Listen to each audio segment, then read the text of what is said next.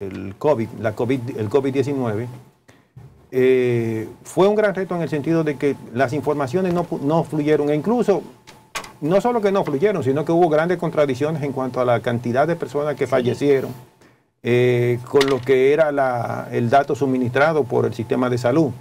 Entonces, eh, frente a una perspectiva de esta naturaleza, en donde las probabilidades de que se repita una situación eh, como esta, la información debe ser, debe tener, debe ser más oportuna, ya que muchas naciones, eh, tanto iberoamericanas como en sentido general, pero particularmente en, Iberoamérica, sufrieron grandes pérdidas por no tener, por no accionar lo suficientemente rápido frente a la crisis, por ejemplo, en la parte preventiva. Yo creo que mm, es muy correcta tu posición, pero debemos de ir mucho más allá.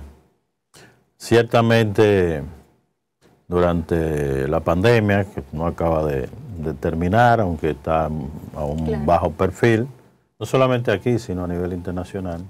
Tal vez la, categoría, ya bajó la, de, categoría y no es pandemia, sino... Eh, Tenemos un problema. Es un problema endémico. Endémico, sí.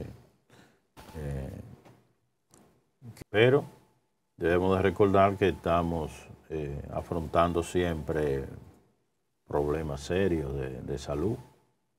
Y no solamente por el chikungunya, eh, el cólera, paludismo, que son enfermedades que en otros países se han logrado superar, menos aquí, en República Dominicana. Pero veamos las cosas más objetivamente. ¿Qué en cierta medida se convierte en una fuente de esas enfermedades? La desnutrición, la falta de una alimentación adecuada, la carencia de agua potable, sana, y eso no importa... Eh, el, saneamiento urbano también. bueno, saneamiento, porque uno de los, eh, yo le he estado señalando, es prioridad número uno resolver la gestión de los residuos sólidos y líquidos en el país, sobre todo a nivel de las concentraciones de la población, o sea, son los centros urbanos. Que hay también, es bueno que se sepa, una discusión abierta. Aquí se está considerando área urbana a simple poblado, que es un agrupamiento de, de campesinos que debiera de calificarse como rural. Aquí, para que yo recuerde, la ONU había establecido 10.000 habitantes por, zona para que se le considerara urbano. Eso es precisamente un simple dato estadístico. ¿De qué urbano? ¿De, qué urbanización estamos hablando cuando los problemas de, de, gestión no recogida, porque es transporte y disposición final de la basura, eh, correctamente hay que decirle residuos sólidos, pero no solamente residuos sólidos o desechos sólidos, sino también los desechos líquidos o residuos eh, eh, líquidos debiéramos de incorporar. Entonces, el problema, como estaba señalando, es la desnutrición. Aquí hay un 5 o 6% de la población que está pasando hambre.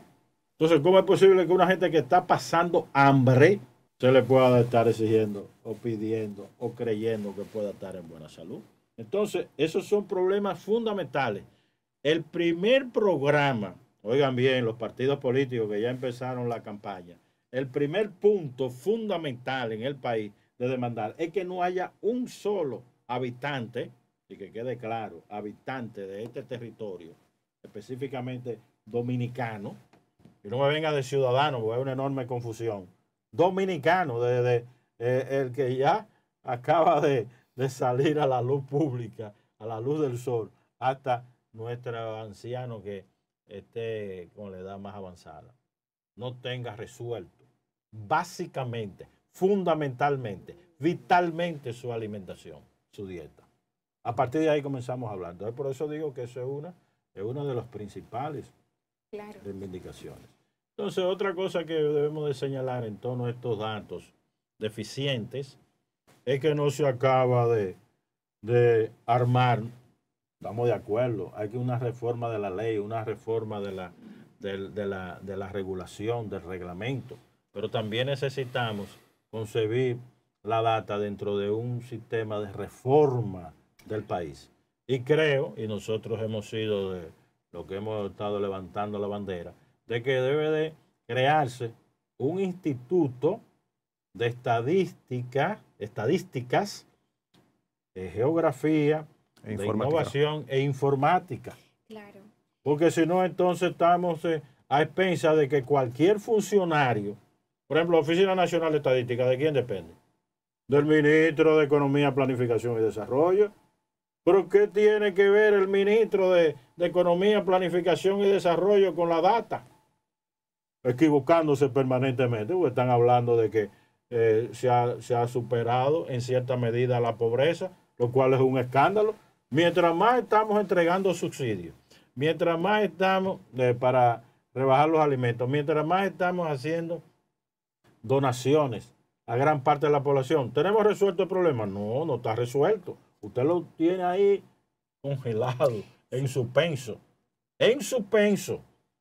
Entonces, en vez de abrir una discusión, que fue el compromiso que tuvo esta gestión, de abrir una discusión sobre temas clave, incluyendo este asunto de, de la, de la nutrición, este asunto de la pobreza o de indigencia, que también no se sabe, como que es un, es un procedimiento, una técnica específica que se utiliza Sí. aquí.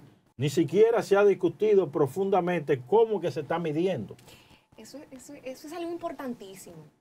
Eh, el- todo lo que tiene que ver con, con la articulación y la complementariedad de los datos.